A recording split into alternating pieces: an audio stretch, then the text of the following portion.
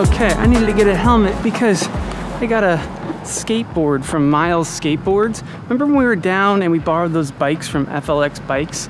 Well, they let us they let us try out a skateboard that they had at the time.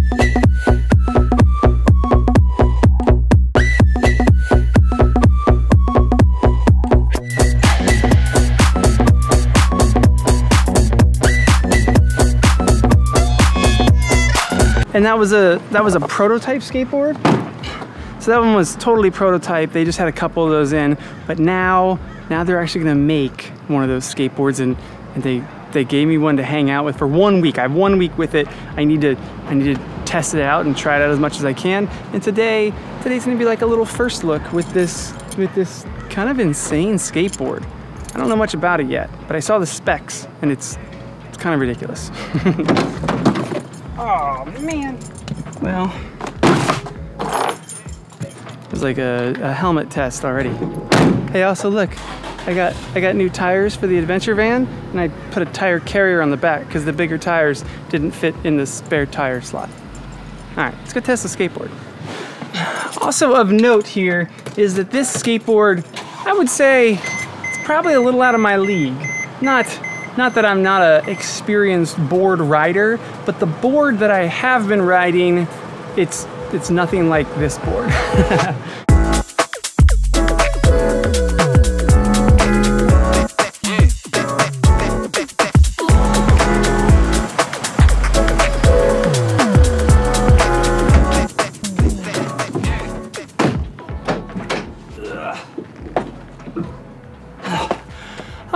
so the skateboard that I had before, the one that Morgan bought me for 10,000 subscribers, is this thing, the R1 Black from Riptide. And it's it has been a good skateboard. I've really enjoyed it. It is not in the same league as the board we're testing today because basically this thing, I think could go like 20 something miles an hour. It had a six mile range, but mainly it had the waterborne trucks on there. So this board, this board was a fun board, but it wasn't a fast board and the range, the range wasn't great. Today's board, it's a different story. I think you'll see why I bought a helmet. All right, so this is the Phantom from Miles Skateboards, and I don't think their Indiegogo has even launched yet. Go to the first link in the description. I think it's a it's like a, an email. You put your email address in there, and they'll notify you when it does launch, and then you could pre-order this thing. I only get to play with it for a week, and then I have to wait for the production model as well.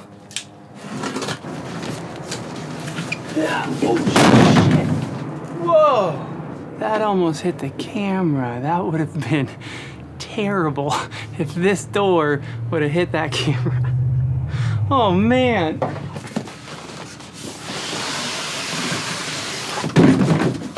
Look at that, it doesn't even have branding on it yet. Again, totally production version of the board. It's just, it's like the five samples that they sent so they could make cool videos like this one. Oh my gosh, shut up. Oh my goodness. This is the Phantom from Miles Skateboards. Full carbon fiber body, battery built in, direct motor wheels, which is super unique. We'll, we'll talk more about these wheels in a little bit. But first, I think we should just go for a ride. Wait, let me tell you what else is in the box really quick, super quick unboxing. There will be a full, a full video on just this skateboard and like a full review after I've ridden it a bunch, but what else is in the box? Skateboard, charger, remote, cable to charge the remote. Now this is unique, so I don't know, I'm gonna find out if these actually come with the board, but on the board, there's 97 millimeter wheels, there's 74As that are on there, but in the box, hang on, check this out. In the box is these wheels by, by I Wonder, the cloud wheels, all terrains. They're 105, 105 millimeter wheels. Those things, those things are insane. I'm not gonna test those today because it would mean it would mean using the also included tool to swap out the wheels and I'm, I'm not gonna do that today. Today is a first look of the actual board. It has the 97 millimeter wheels on there. They're 74A, so they should be decently comfortable to ride, but these, these cloud wheels, let me get one out. Check that thing out. So you can see the difference in size right there. The cloud wheels are, they're bigger, but they're also a little softer and they do have all terrain on them. So these are 97 millimeter wheels that are on there. These are 105 millimeter. I am excited to test these out, but today, today we're just gonna test out the board as is out of the box. All right, to get this thing set up, I don't have any instructions in here either because it's it's pre-production, so I might have to call them. But hopefully, hopefully it's an easy setup. We'll see. Oh, the remote was already paired to the board. Well, that was a very easy setup. All right, well, let's go ride then.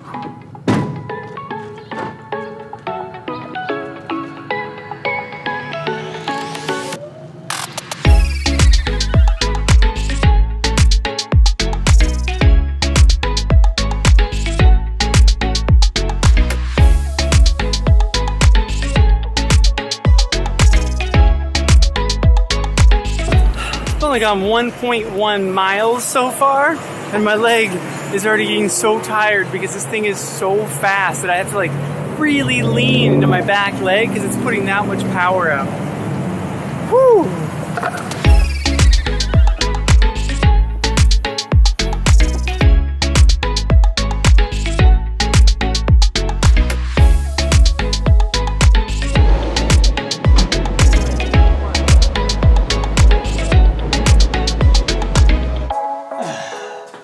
Oh my goodness. I did a total of 5.2 miles all around Carlsbad and and this thing, it's kind of amazing. Before we end the first look of this Phantom board, let's just burn through the specs really quick so we have all those out there. This thing is a fully, fully carbon fiber deck. It is 31 and a half inches long, it is 10 inches wide, and it's got a drop deck. So if you can see, see how the deck is actually lower than where the trucks are. That's called a drop deck. It gets your center of gravity a little bit lower. You really feel like you're in the trucks as you're moving with it. And this board has a total weight of 19.5 pounds, which is on the heavier end or feels pretty heavy for a board of this size but let's let's dive into why because this thing has an 1100 watt dual direct drive system which which I don't see or I don't think I've seen on another board. At least not like another manufacturer board. I've seen people do this, but not not from the manufacturer. So basically what this is, is